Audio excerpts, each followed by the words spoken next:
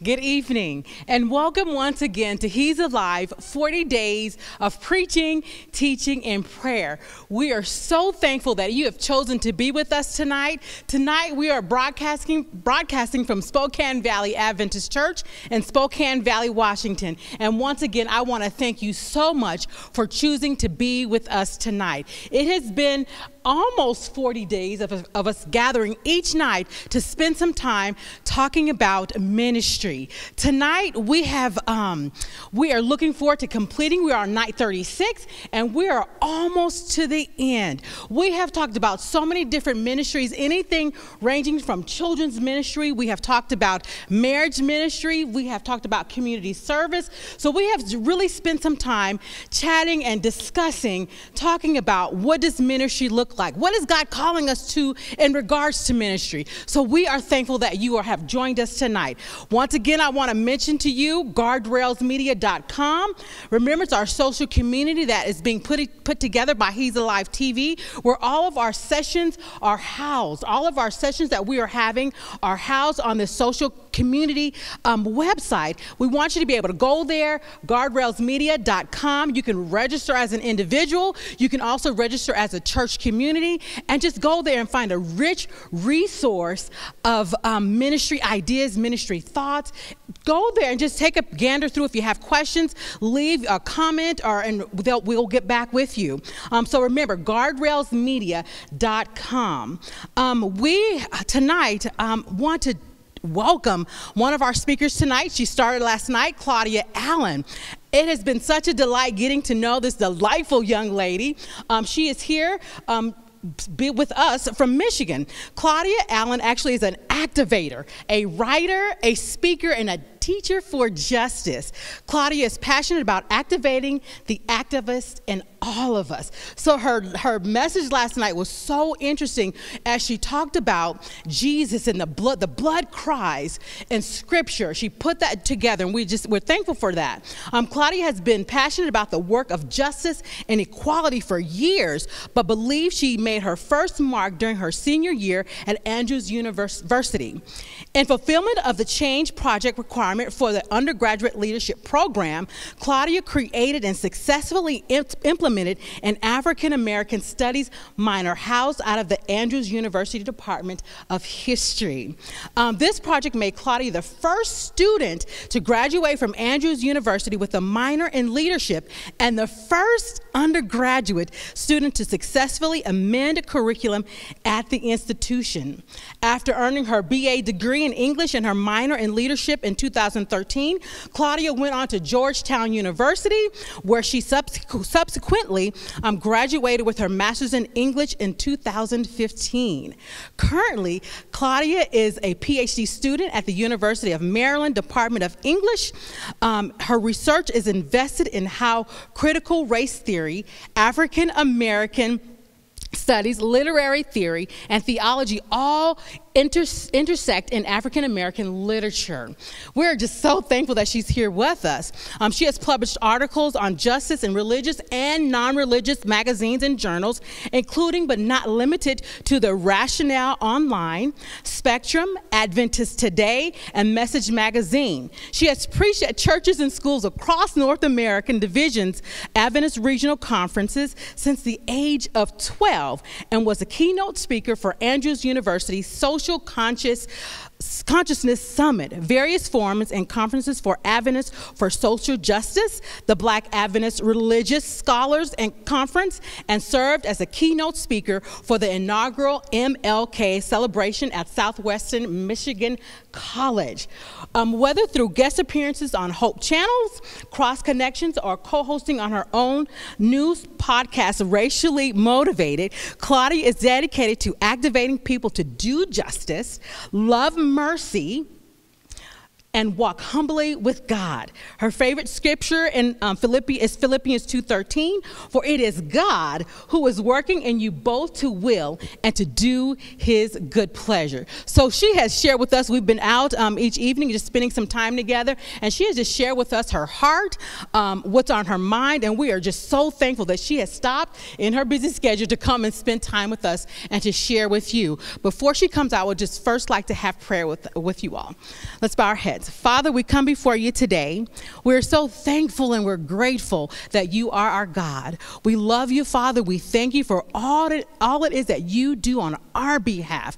Father, help us to love you. Help us to love justice. Help us to love mercy. Um, help us to walk humbly with you. We thank you so much as you, you um, are with us tonight. And please be with Claudia as she shares your message on social justice. We love you and we thank you. In Jesus' name we pray. Amen.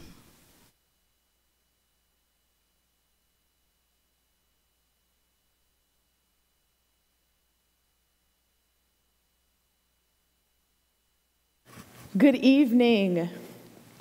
It is truly a privilege and an honor to be back with you for a second night for part two of Activate Social Justice According to the Gospel of John. Last night we were introduced to the topic of justice and the Bible, looking through it though through the story of Cain and Abel. And tonight we're going to begin our journey through the Gospel of John to really see just how Jesus practiced activism. So, if you don't mind, go ahead and turn with me in your Bibles or slide with me in your devices on over to the book of John. And we are going to begin right in the very first chapter, John chapter 1. But again, this evening, we're just going to have one verse. That verse is going to be taken from verse 14. Now, many of you have known or heard this passage read, um, and it reads as follows And the Word became flesh and dwelt among us. We observed his glory, the glory as the one and only Son from the Father, full of grace and truth. Now, what does the word becoming flesh have to do with activism? What does the word becoming flesh have to do with social justice? Well, I'm glad you asked. Let's break this thing down together. But first, if you don't mind, let's have another word of prayer. God, I thank you for this moment and for this opportunity to commune with you and to learn from you. So, God, your words are on my tongue. Speak through me in this moment. May someone be saved as a result of your message. In Jesus' name, amen. First, let's look at a good definition of activism, right? If we're going to think about the fact that activism speaks, then we're going to have to take into very real consideration what activism is. Now, according to Merriam Webster's dictionary, activism is a doctrine or practice that emphasizes direct, vigorous action, especially to one side of a controversial issue. Uh, but Amherst College defines activism as an intentional action with the goal of bringing about social change. So that if we define social justice as the belief in an equitable, compassionate world, where difference is understood, valued, and respected, then we can see that social activism and social justice are flip sides of the same coin. Social action, work, or activism is a way to meet the goal of social justice. In other words, activism is committed to intentionally manifesting social justice through both doctrine or ideology, as well as through a variety of practical hands on methods. Those methods can be through protests and rallies, prayer vigils and letter writing, preaching and book publishing, or even genuine, authentic relationship building. But at the heart of activism is consistent and intentional action. But if we're honest, activism is a trigger word. It carries a lot of baggage for many people. For some, the very sound of the word serves as a clarion call, galvanizing all inspired to participate in various acts of resistance to promote justice for the disadvantaged. For others, activism is a word that denotes exclusivity some find the word to be reserved for a select few who have demonstrated a long term devotion not simply to justice and equality, but political justice and equality in particular. It's reserved for those who champion voting rights and boycotts the deconstruction of the, the school to prison pipeline, and the exploitation of cheap labor. It seems to be a word that connotes direct opposition to not just the status quo, but the laws and policies of what some may perceive is an unjust government. I will not put forth a lie and say that activism does not champion any of those causes, nor does it uh, manifest itself in any of those ways, because it does. I won't even try to pretend as though activism is not often direct opposition to systematic injustice from various institutions, just like the government. But what I would like to suggest is that activism is more than a series of political actions that combat an oppressive governing body. I'd like us to see that true activism is the practice of placing oneself in direct opposition to any entity or power that abuses, exploits, marginalizes, or intentionally disenfranchises any human being for any reason. In that sense, activism opposes unjust people, unjust ideas, unjust policies, and unjust institutions. It is a commitment to enacting justice across a variety of lines using a variety of means. It is birthed from compassion and it believes that all people should be offered the same opportunities. It purports that all people should have access to dignity, that dignity is not a privilege for some, but instead the platform upon which all of humanity has the right to stand. What is needed is a Christ like activism. What is needed is a kind of activism that intentionally descends into the condition of the disenfranchised to rebuke the oppressor, restore the oppressed, and ultimately provide a replacement to the system that promoted those injustices in the first place. We need an activism that combats injustice with words made flesh. We need an activism that speaks like Jesus. One of the reasons why we need an activism that speaks like Jesus is because the injustices in our societies were instituted by language. I'd like to actually take it just a little step further. Our societies as a whole were constructed by language. In fact, the Bible begins by letting us know that all of creation was made not by the hand of God, but by the word of God.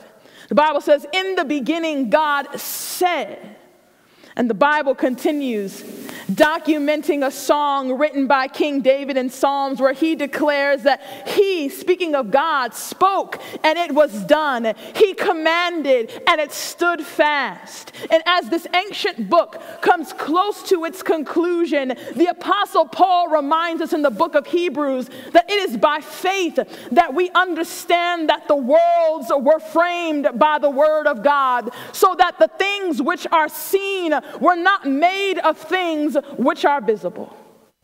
In other words, pun intended, God created the heavens and the earth with words, with language, with his very speech.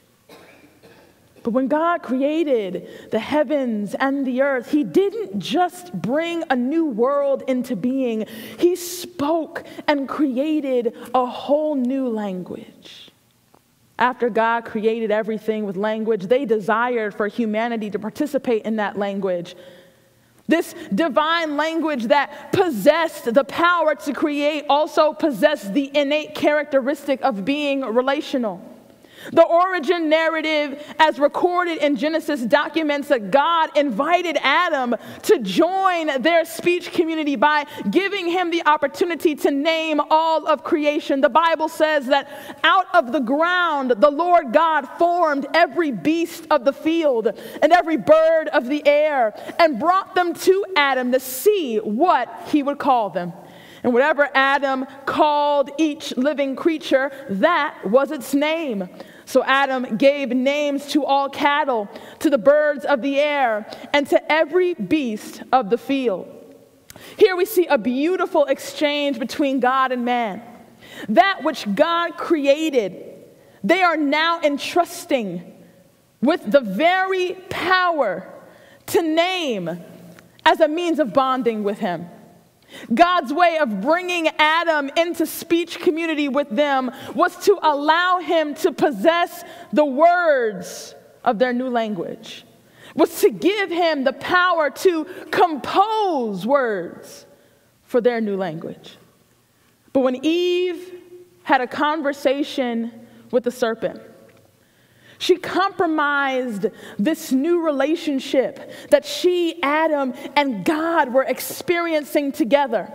Their opportunity to commune and converse with one another with words and language that was pure, that was holy, has now been compromised because now, based on Eve's conversation, now words like deception and disobedience are now introduced into a divine language that was never supposed to understand sin. A divine language that was never meant to utter sinful words. This actualized what I call sin language. And sin language is a system of words or signs that, when articulated and actualized through speech and action, create distance between God and humanity.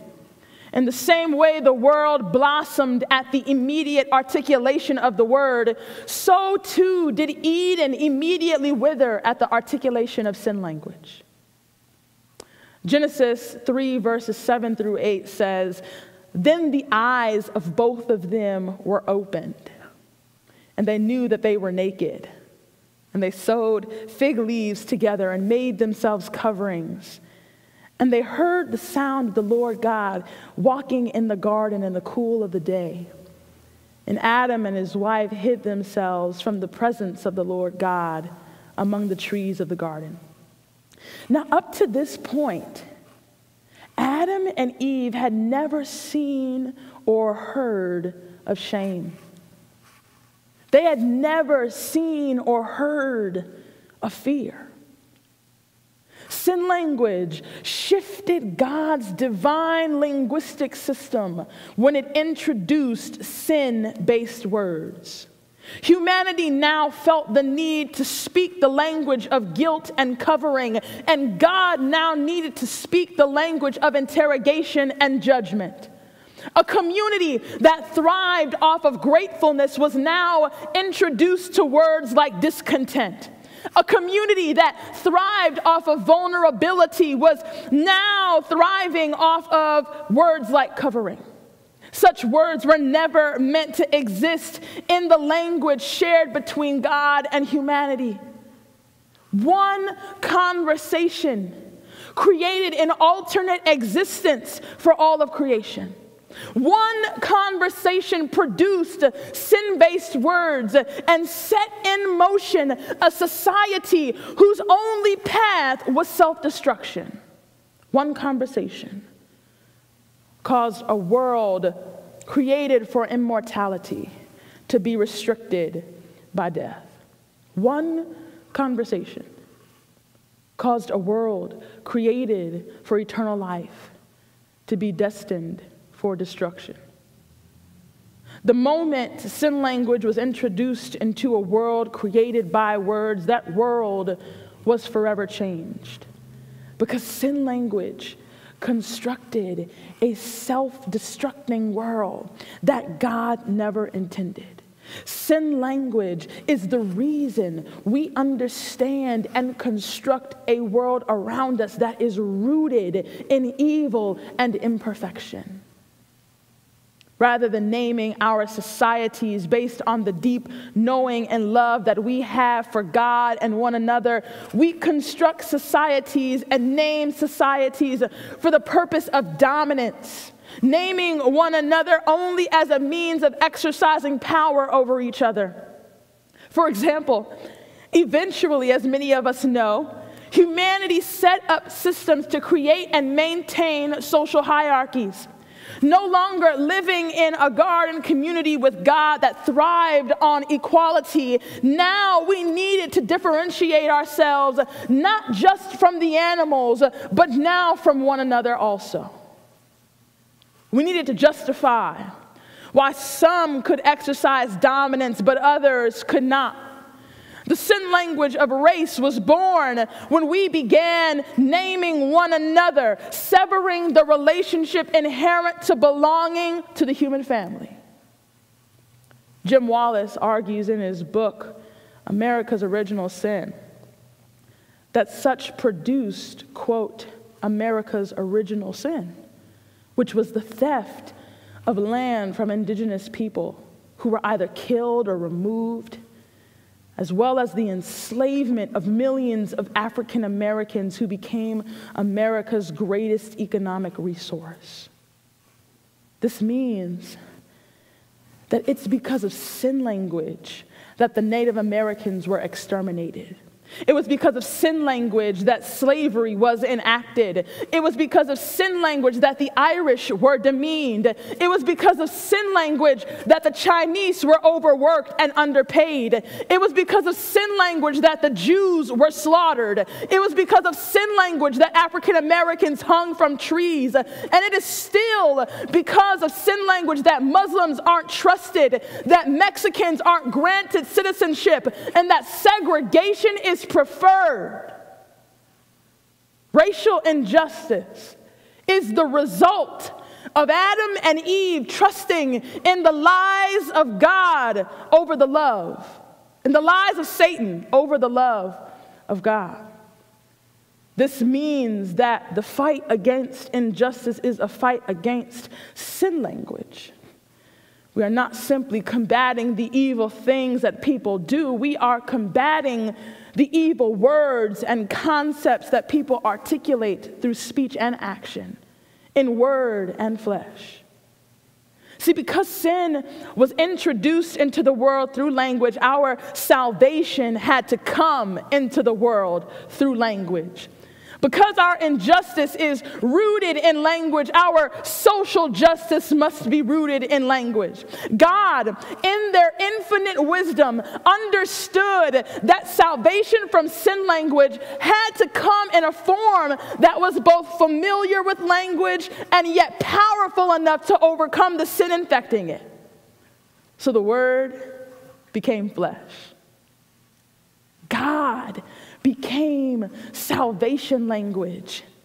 He became the spoken and enacted words that restore our relationship to God through rebuke, through restoration, and ultimately a replacement of sin language. In other words, when Adam and Eve took the detour of disobedience, God said rerouting. John begins his gospel by revealing that Jesus Christ was salvation language by identifying him as the Word, the very sound utterances of God. As the heartbeat of God's speech within the Word was encapsulated the very speech of God.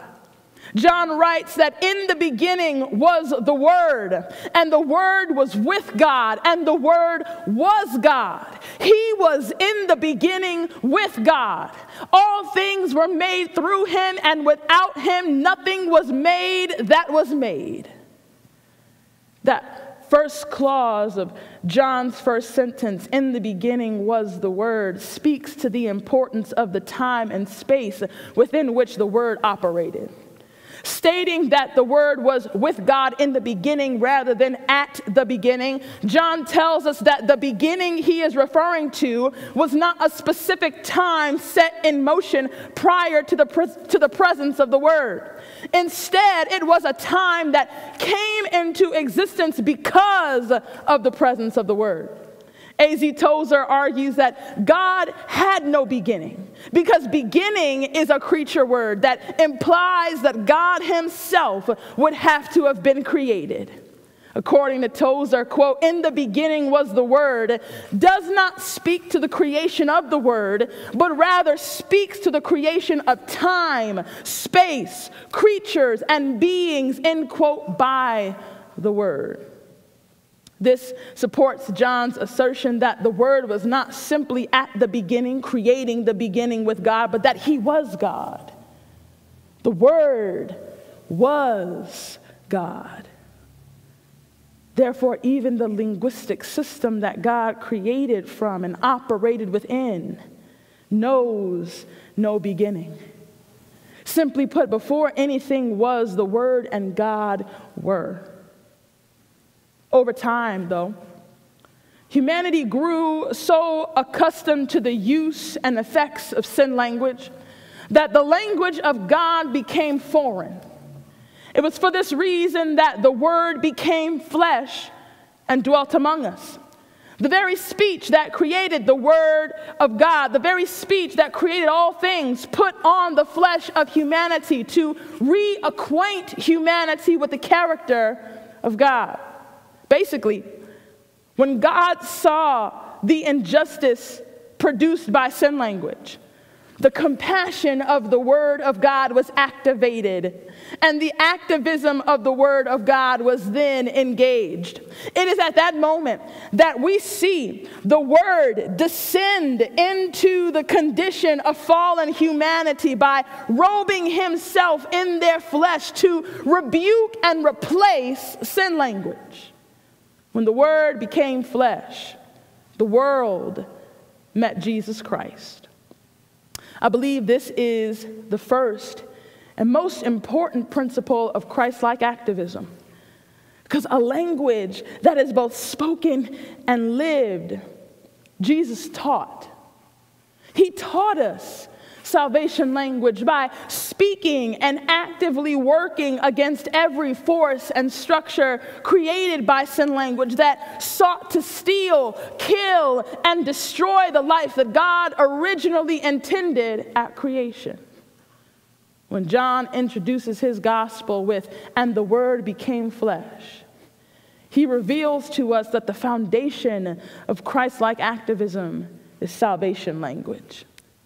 This is essential to our understanding of social justice because it foregrounds the principle that activism speaks. Jesus' example of speech that activates social justice is not what we're accustomed to, though. Our understanding of human speech in relation to social justice is often a misrepresentation of what social justice speech really is. Oftentimes, these, these utterances do nothing but arouse emotion and, at worst, stimulate the mind with flowery platitudes. The inaction that often accompanies social justice speech has caused many to devalue its potency and begin to prioritize a do something approach as though action can occur apart from speech.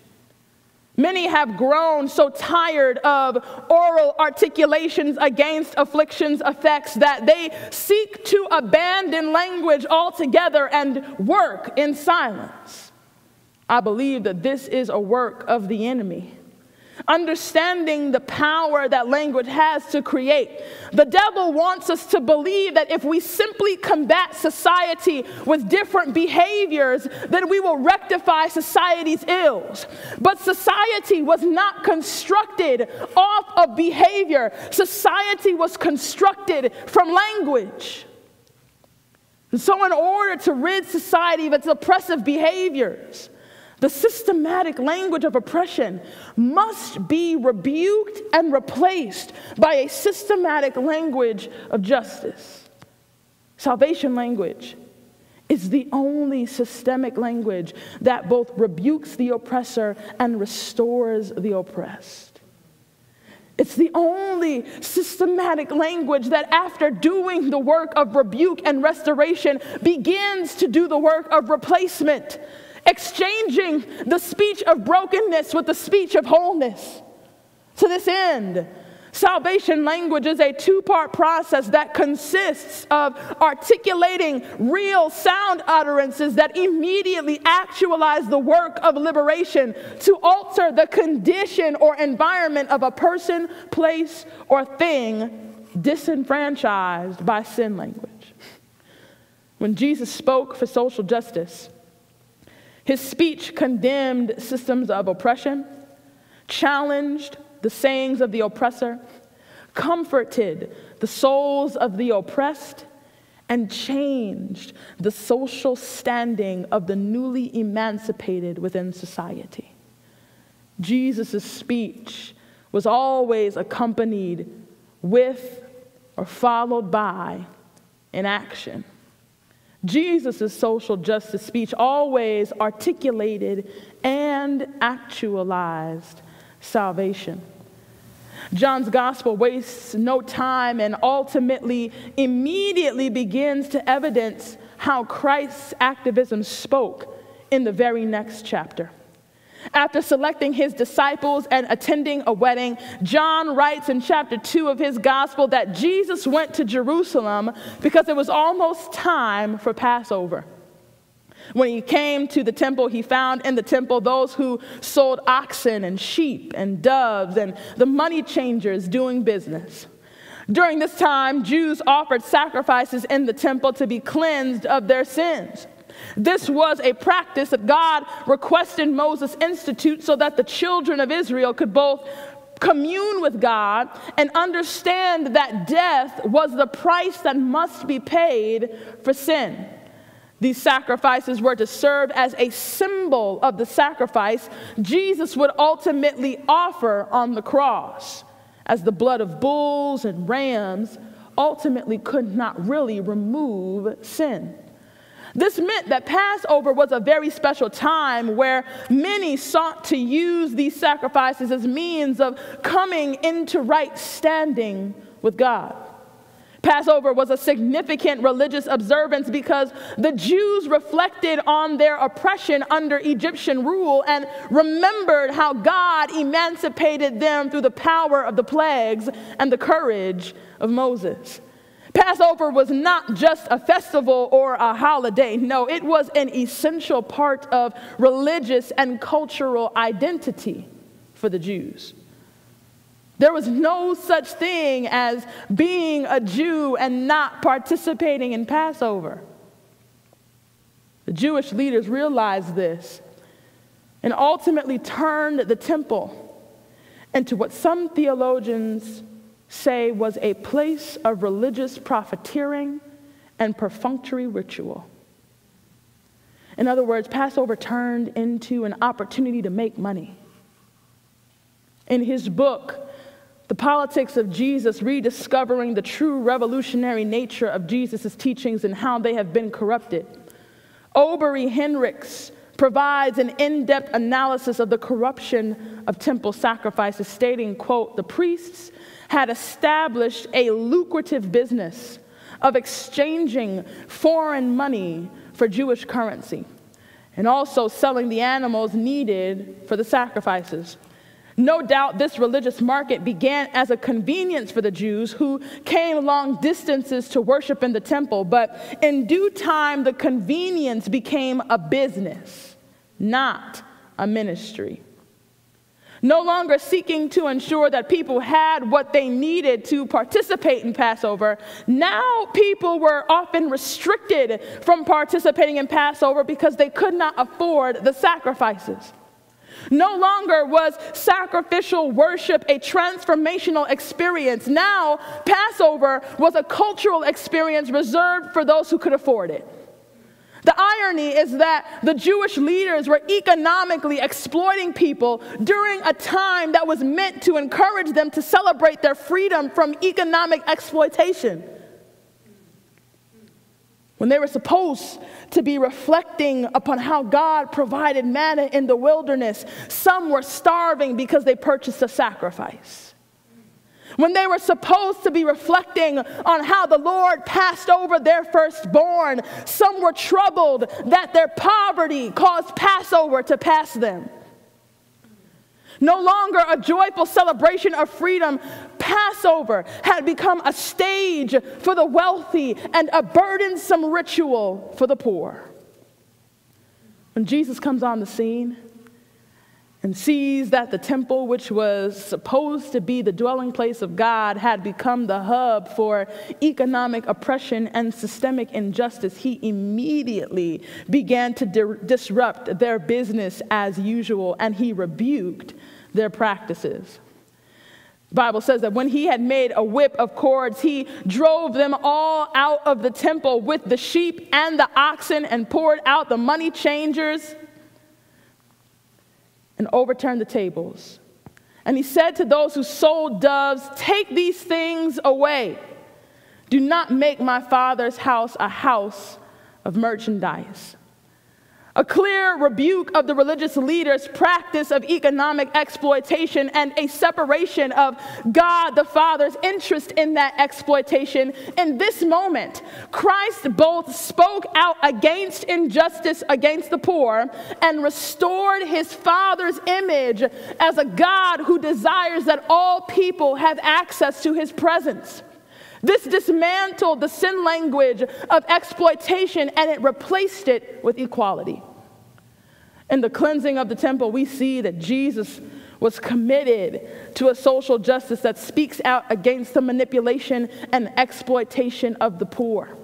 But in John chapter 4, we go on to see that Jesus was also committed to crossing cultural divides.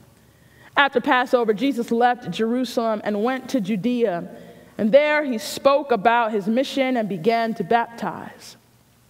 He did not stay long as he needed to return to Galilee, but he needed to go through Samaria. And while going through the city of Samaria, Jesus approaches Jacob's well. He notices a Samaritan woman at the well, so he says to the woman, Give me a drink. And the woman responds to Jesus, saying, How is it that you, being a Jew, ask me, a Samaritan woman, for a drink? This conversation gives us a glimpse into the kind of cultural and ethnic prejudice that existed in Jesus' day. While contemporary conceptions of race and racism did not exist during this time, these passages of scripture evidence that there did exist a system of social hierarchy based on culture and nationality. Just by saying that Jews have no dealings with Samaritans, this Samaritan woman revealed that the Samaritans were a group of people deemed inferior by the Jews. They were a group of people deemed unworthy of worshiping in Jerusalem.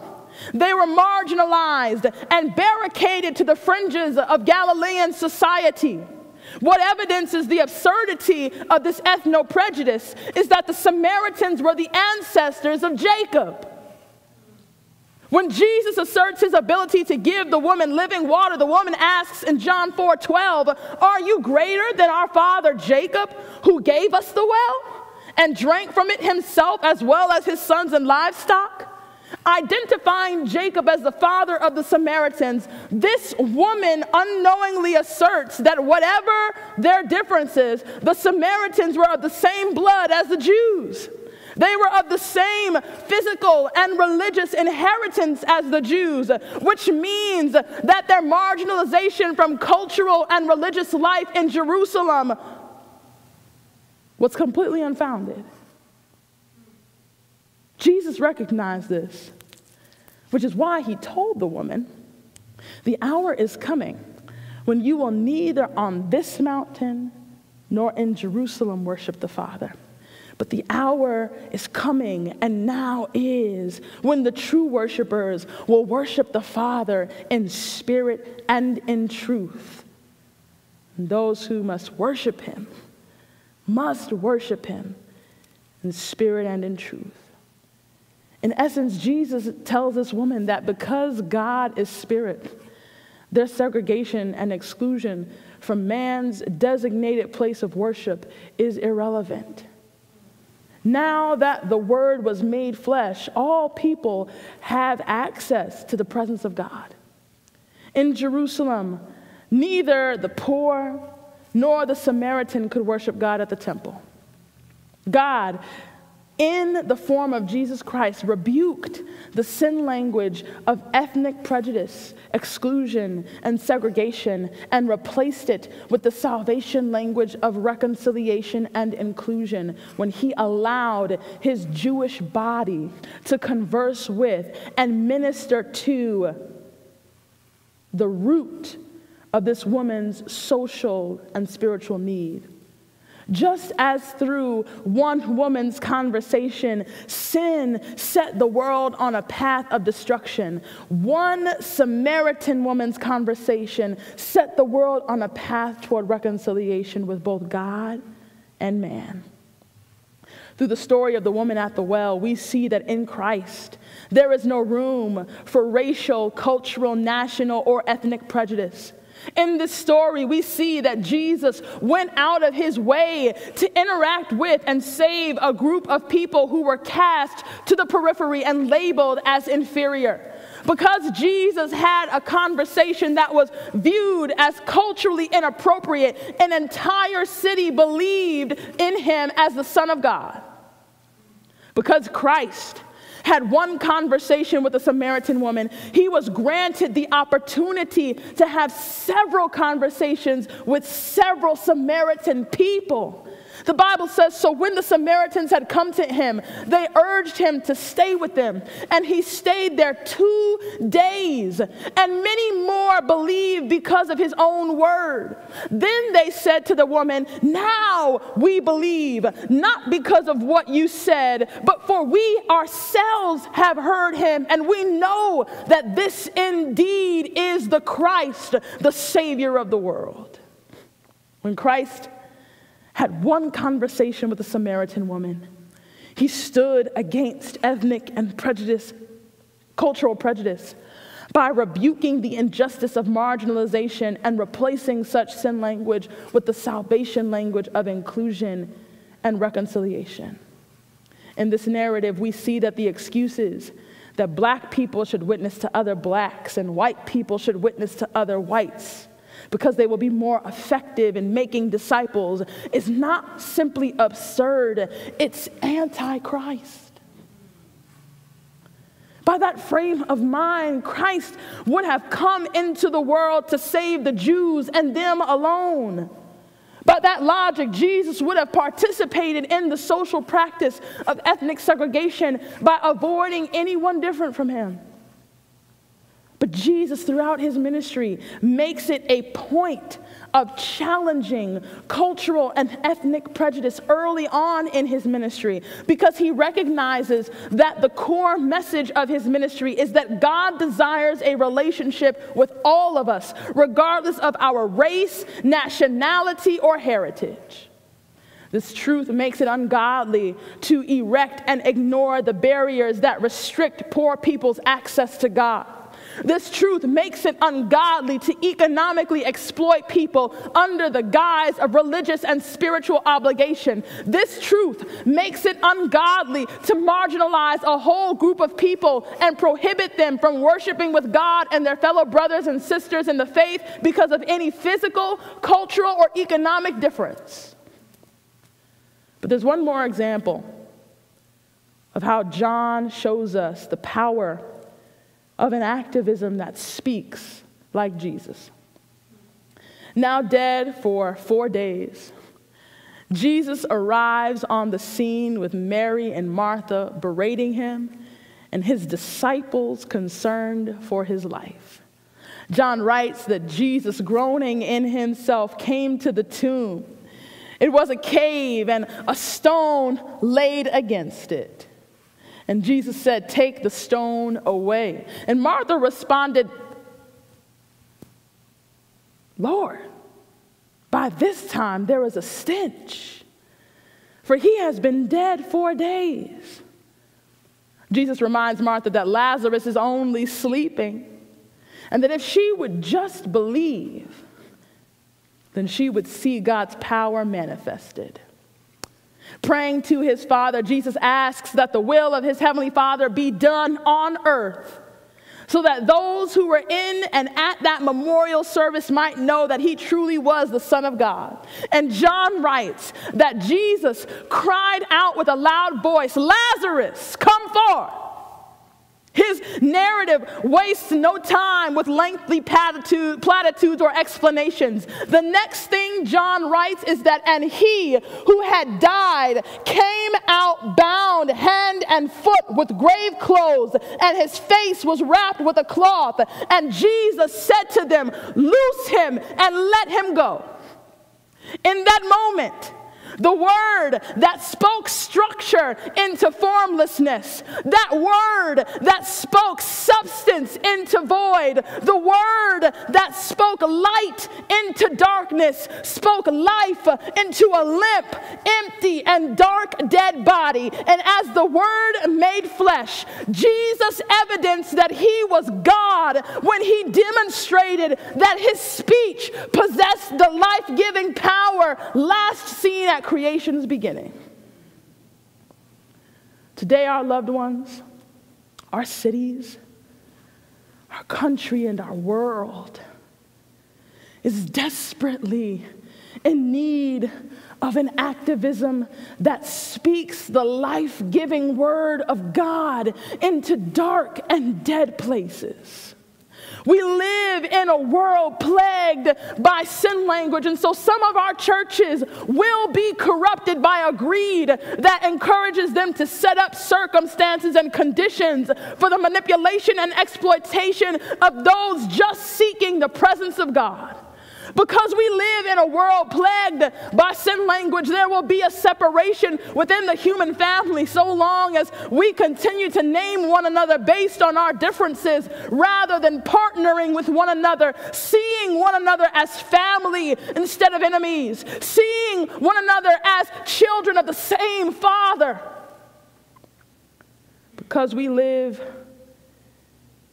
in a world plagued by sin language, the one creation created for immortality and eternal life will experience the consequence of death. For some, that death will be a physical one, but for others, it will be social and maybe even spiritual. For example, when African Americans live in fear of execution at the hand of citizens and public servants, they are socially dead. When immigrants accept payment in food and clothes for fear of being deported, they are socially dead. When young girls live in fear of being abducted and sold for sex, they are socially dead. And when we are bound by the invisible chains of pornography, anger, gossip, the sins that so easily beset us, we are spiritually dead. Jesus as the Word made flesh, activated into flesh to produce a divine activism that worked for social and spiritual justice.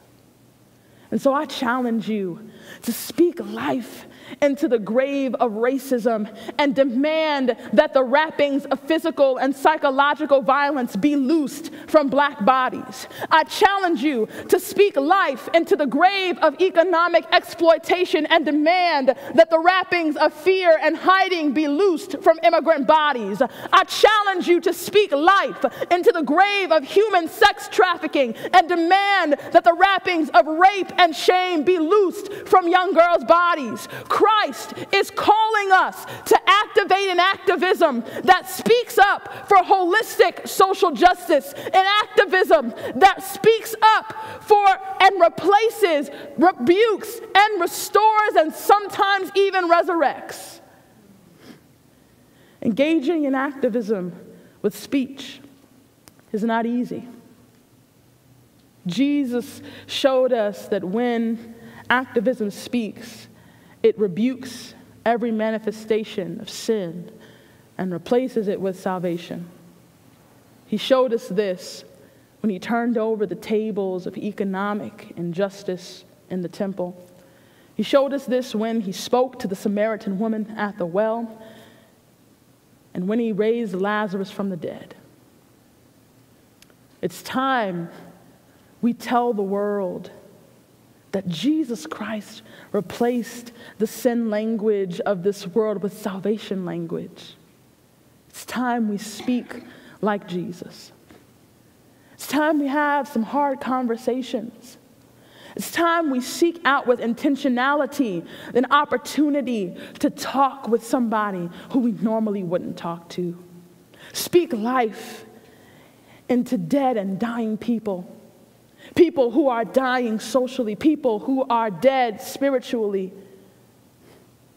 It's time that we speak like Jesus. I'd like to invite you to pray this prayer with me. God, the words of my mouth are creating destructive systems in my life and in the lives of others. I need your words to rebuke the injustice within and around me. I need your words to replace sin with salvation in my mind. Replace sin with salvation in my relationship. Replace sin with salvation in my community. Give me the words to rebuke injustice. Give me the power to heal the wounds of victims and the courage to heal victimizers to repentance. Give me the courage to speak when and where your words of injustice are needed. Teach me how to speak like Jesus.